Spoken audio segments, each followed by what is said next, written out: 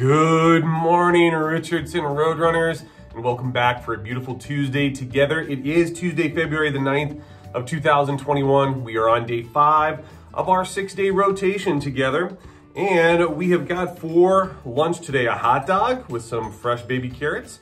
And tomorrow for breakfast, we've got some Apple Jack cereal. Just as a reminder, as always, uh, those meals right now are free to everyone under 18 years of, of age and can be picked up at Hendrix at their front bus parking lot from uh, 10.30 till noon every single day. So head on down, grab yourself both breakfast and lunch. They will serve you the uh, lunch and then the breakfast for the next morning as well.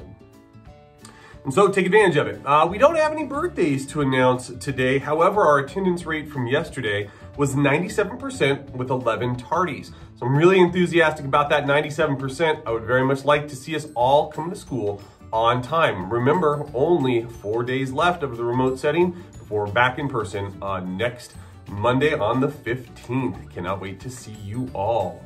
So Roadrunners, our Richardson life skill of the day is problem solving. And problem solving is to seek solutions in difficult situations in everyday problems. And one of the things I've been most impressed with during our remote setting is how much you guys are working together in those breakout rooms to show some problem solving, to come together, to put your very incredible minds uh, to work solving some problems together, even in a remote environment. So continue to work together to find some unique um, solutions to problems. I show that problem solving each and every day. And let's have a beautiful Tuesday together um, and the Pledge of Allegiance, moment of silence, coming up next.